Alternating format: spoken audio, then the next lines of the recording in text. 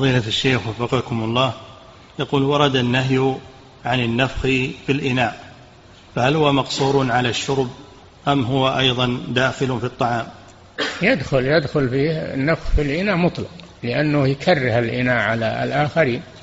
ربما يكون الإنسان فيه إصابة في فمه أو في فيحصل من هذا ضرر على الناس. نعم.